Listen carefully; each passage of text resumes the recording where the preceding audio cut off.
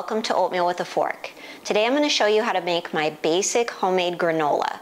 It's only four ingredients. It's nut free so the kids with allergies can enjoy it. Um, let me show you what's in it. Um, I've got just regular rolled oats here, some maple syrup, some salt, and in this pot I have a little bit of melted coconut oil. So let's get to it and I'll show you how to make it. Add two cups of rolled oats to a bowl along with a quarter teaspoon of sea salt. Stir in three tablespoons of melted coconut oil along with three tablespoons of pure maple syrup. Stir the oats, making sure that they are all well coated.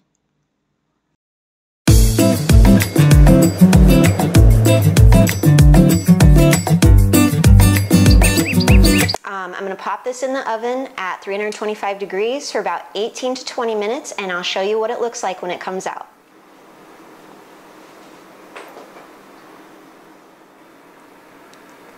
And here we have our freshly baked granola. Um, you want to be sure, the one tip I want to offer is to not over bake it. It can go from being lightly golden to dark and burnt very quickly.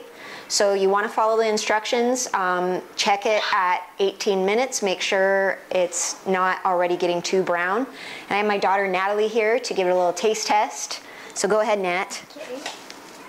She's going to give an honest opinion, I swear. How is it? Perfect. there you have it, straight from the kid's mouth. I hope you guys give this recipe a shot. I'll see you next time. Bye.